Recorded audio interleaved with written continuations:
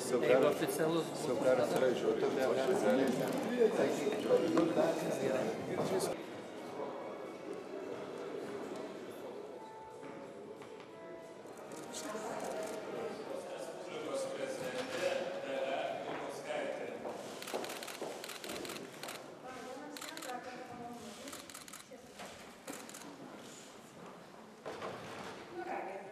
Po vakar sutikimo vis vien visi nori apie jūs girdėti ir jūs matyti.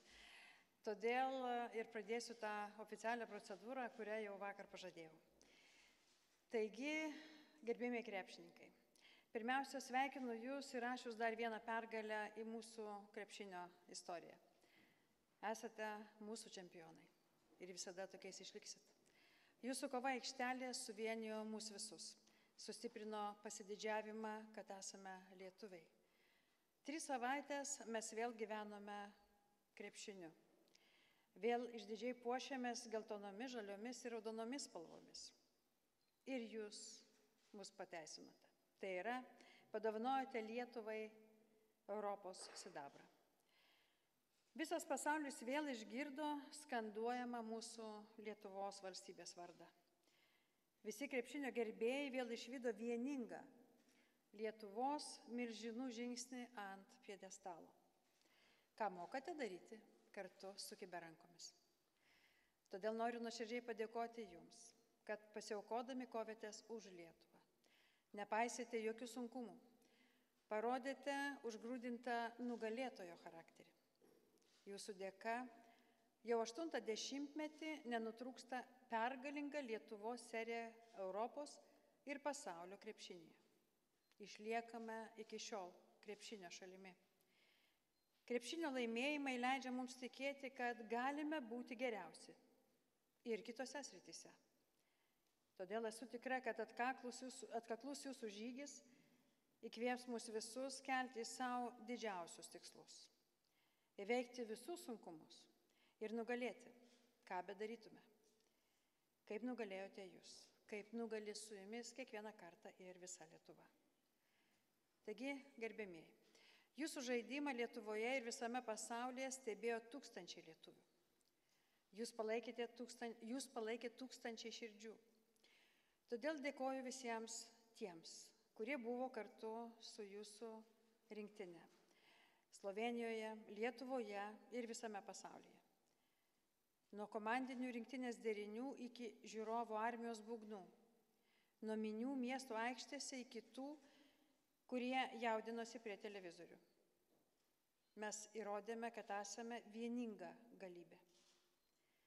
Šie apdovanojimai, kuriuos netrukus įteiksiu, yra skirti jums visos Lietuvos ir jo žmonių vardu.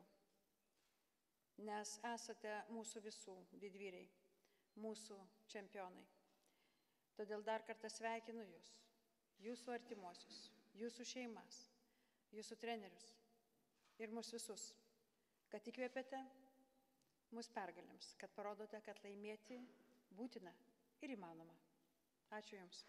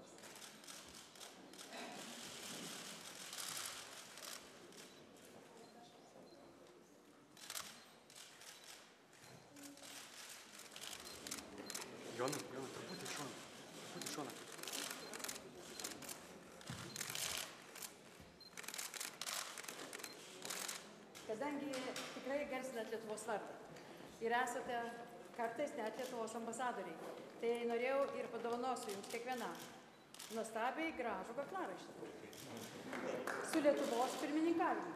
Jis tikrai gražus. Kiekvienam.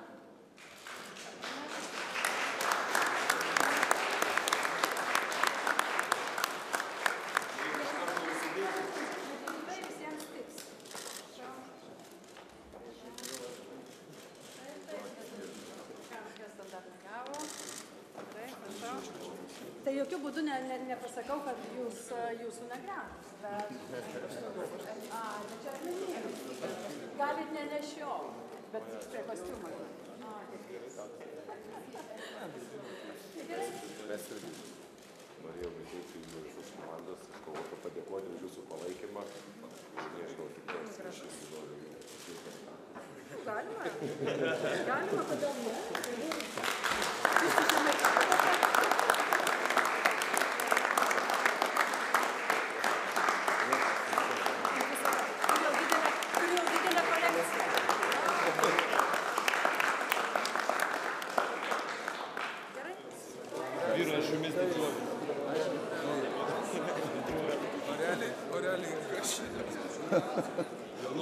Tu dar kad jau amžiaus sensi nepraeini. Kava, yra. Karininkas vadinas dar nenurašytas. Atsiprašau, atsiprašau.